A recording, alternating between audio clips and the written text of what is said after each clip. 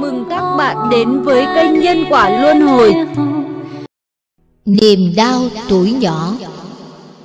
Hồi lớp 5 tiểu học, Tôi ngủ gần dòng sông Đàm Thủy Đại Bắc.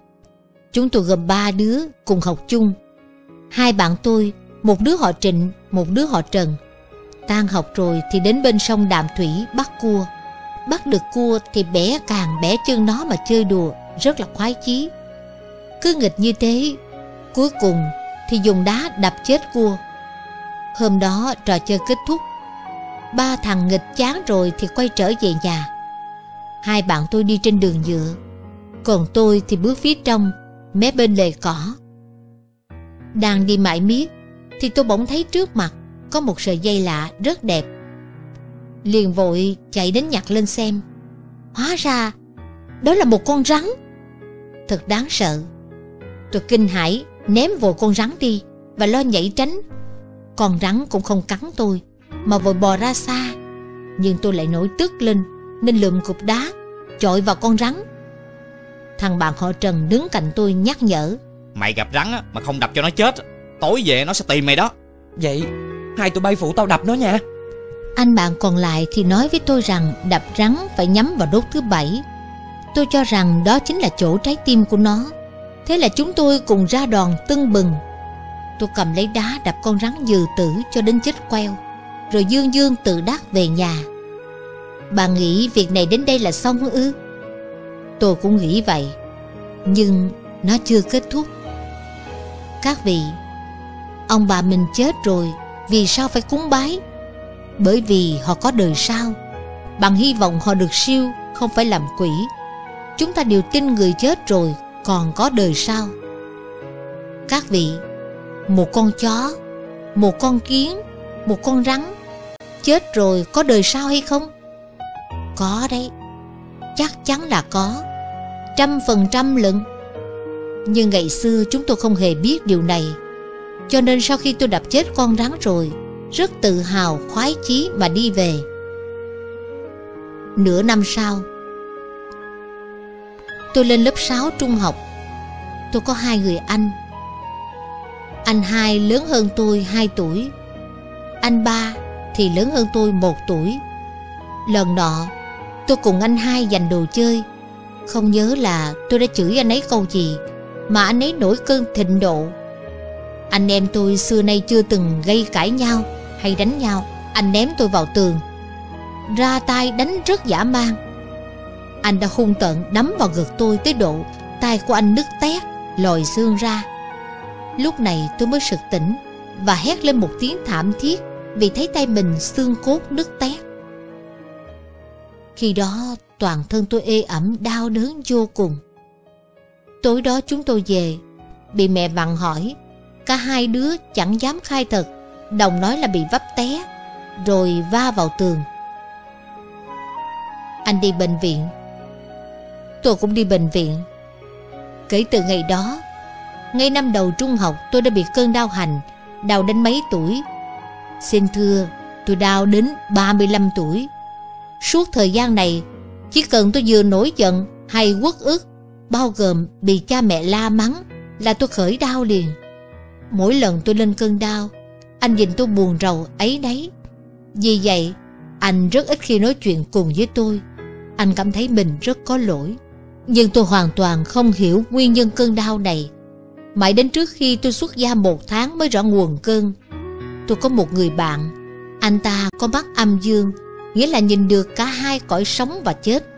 Anh không phải là Phật giáo đồ, Nhưng mà giỏi như vậy đó. Người ta thì nhìn thấy thần, Còn anh thì thấy được quỷ. Anh rất độc đáo đó nha.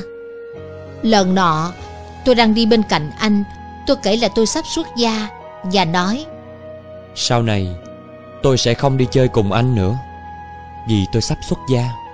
Anh bạn tôi có khả năng ngoại cảm Nhìn thấy những điều mà mắt thịt chúng ta nhìn không thấu. Nên anh bảo tôi Trời ơi Chú mày thường đau ở tim Ở nơi vùng ngực Đau ghê lắm có phải không? Dạ phải. Tôi thấy có một con rắn hung tợn Đang cắn xé ở đó. Đây chính là nguyên nhân đau đớn của chú đó. Anh nói nhảm rồi Rắn nào mà cắn em chứ hả?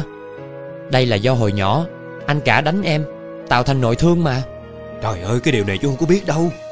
Tôi thầm nghĩ Đâu phải anh ta nói gì cũng đúng đâu. Nhưng thực lạ Anh ta vừa dứt lời Thì tim tôi bắt đầu đau. Tôi cảm thấy rất ngạc nhiên. Bình thường phải có lý do gì đó tôi mới phát đau. Nhưng bây giờ Anh ta vừa nói xong Là tôi cảm thấy đau. Anh liền hỏi Trong đời của chú. Chú có từng giết qua con rắn nào chưa? Dạ có. Tôi vừa đáp xong thì cảm thấy tim nhối đau lên. Anh giải thích. Điều này dễ hiểu lắm. Thực ra Con rắn đó sau khi bị chú giết chết rồi Nó đọa vào cõi quỷ Vẫn mang hình hài rắn. Ngực tôi liền đau kinh khủng. Nghe anh giải thích như vậy Thì cuối cùng tôi cũng hiểu ra. Con rắn đó từ lúc vô duyên vô cớ bị tôi đập chết đi rồi Thì nó liền đầu thai vào cõi quỷ. Nếu như nó đầu thai làm rắn Thì nhiều nhất là gặp tôi Nó mổ cho một phát. Nếu đầu thai làm chó Thì nó sẽ gặp tôi, cắn tôi Kết ác duyên cùng nhau. Nhưng con rắn này vừa đầu thai vào cõi quỷ Ngay lập tức đã có thể báo thù. Nó báo thù thế nào ư? Tức là hồi năm đầu trung học Như tôi đã kể Anh tôi vì một chuyện vặt vảnh nhỏ xíu Mà đánh tôi một trận như tử. Theo lời anh bạn tôi giải thích, Thì đó là do hồn quỷ con rắn Đã gá vào tay phải của anh tôi. Bởi hồi ban sơ, Chính tôi đã dùng tay phải cầm đá đập con rắn chết. Tôi đập bao nhiêu lần?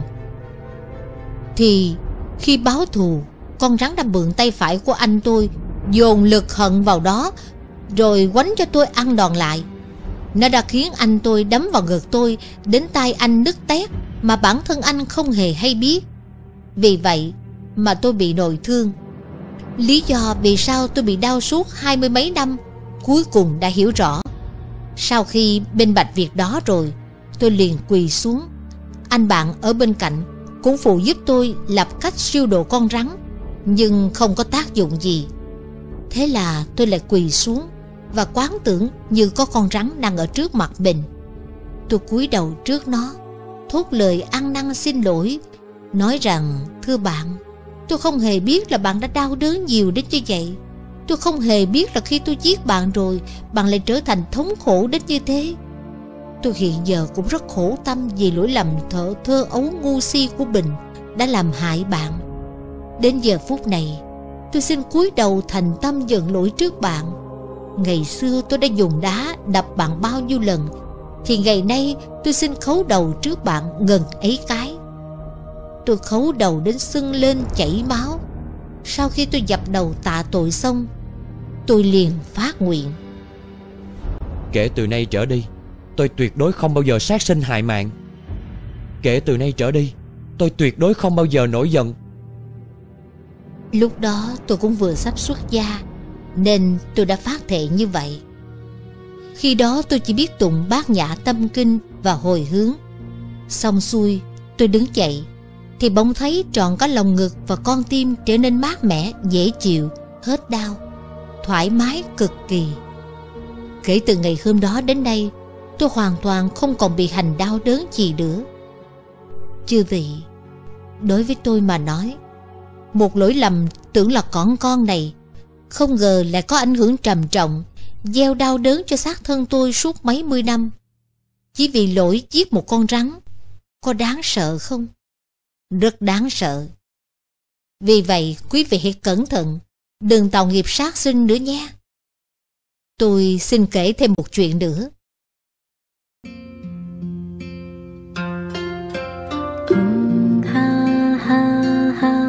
cho kênh Ghiền Mì Gõ Để không bỏ lỡ những video hấp dẫn